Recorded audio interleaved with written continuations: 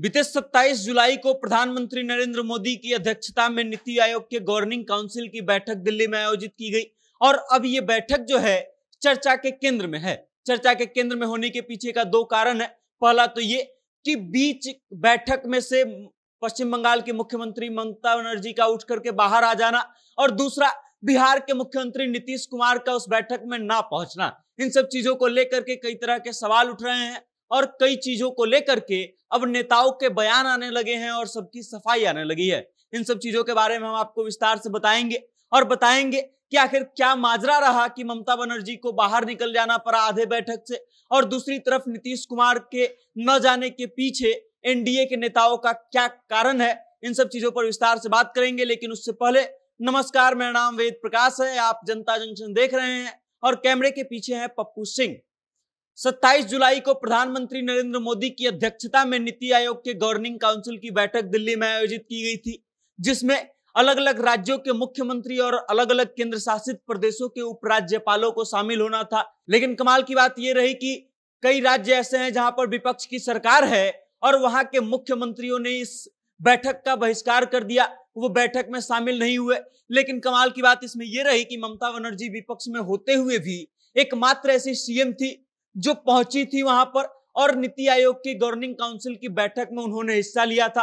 और उसके बाद ममता बनर्जी उस समय लाइमलाइट में आ गई और चर्चा के केंद्र में आ गई, जब बीच मीटिंग को छोड़ करके ममता बनर्जी मीटिंग हॉल से बाहर निकल गई। इसको लेकर के मीडिया से बातचीत करते हुए उन्होंने ये कहा कि विपक्ष को बोलने का मौका नहीं दिया गया है, कि हमको सिर्फ़ पाँच मिनट तक ही बोलने दिया गया, और उसके बाद हमारे माइक को बंद कर दिया गया। अब एनडीए के कई नेताओं का इस पर बयान आ चुका है। कई लोग ये कह रहे हैं, चिराग पासवान तक का बयान आ चुका है। वो कह रहे हैं कि सभी लोगों के लिए पाँच मिनट बोलने का ही समय दिया गया था और ऐसे में जब ममता बनर्जी का पाँच मिनट का समय पूरा हो गया तो राजनाथ सिंह के द्वारा उनको रोकने का प्रयास किया गया या फिर उनको बताने का प्रयास किया गया और इस पर ममता बनर्जी रुष्ट हो गई और वो बाहर निकल गई। हालाँकि नीति आयोग के अधिकारियों के हवाले से भी ये खबर आ रही है कि माइक बंद करने का जो दावा ममता बनर्जी ने किया है, वो गलत है। माइक बंद नहीं किया गया था।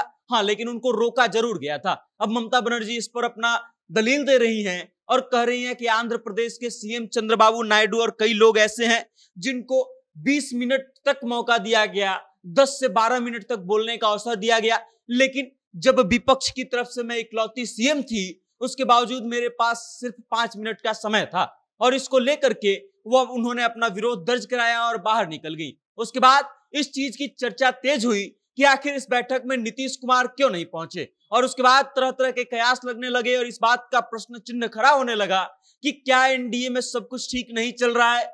एनडीए में सब कुछ ठीक नहीं चल रहा है, इसके पीछे का कारण दो तीन है जिसके कारण लोग कयास लगा रहे हैं। पहला ये कि बिहार को विशेष राज्य का दर्जा न देने की बात केंद्र सरकार के द्वारा कहना और दूसरा ये कि कई मौकों पर हम ये देख चुके हैं कि भारतीय जनता पार्टी के कई नेताओं का ऐसा बयान आया है, जिसके बारे में ये कहा जा रहा था कि नीतीश कुमार शायद इससे रुष्ट होंगे।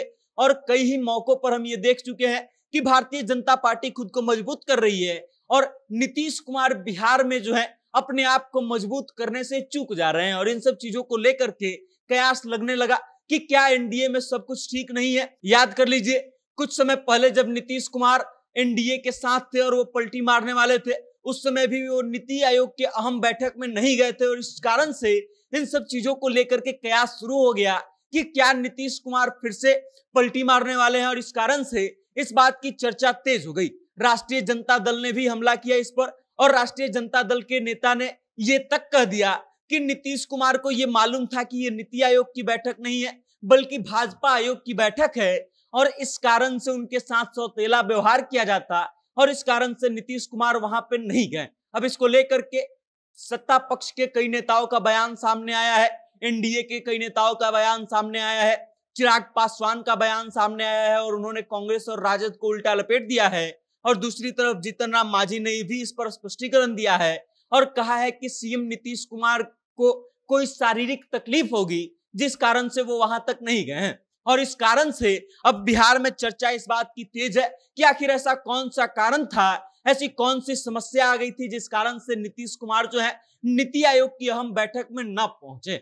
और इसको लेकर के अब अलग अलग लोग अलग अलग दावा कर रहे हैं। अब सच्चाई क्या है ये तो वक्त आने पर पता चलेगा। लेकिन फ़िलहाल नीति आयोग की बैठक को लेकर के जो खबरें चर्चा में चल रही हैं, जिन चीज़ों को लेकर के लगातार विवाद हो रहा है, उन सब चीज़ों के बारे में हमने आपको स्पष्ट किया बताया। बाकी इस खबर को लेकर के आप क्या सोचते हैं? नीतीश कुमार क्या नीति आयोग की बैठक में न जाना क्या संकेत देता है? अपनी राय कमेंट के माध्यम से हम तक ज़रूर भेजिए और देखते रहिएगा जनता जंक्शन।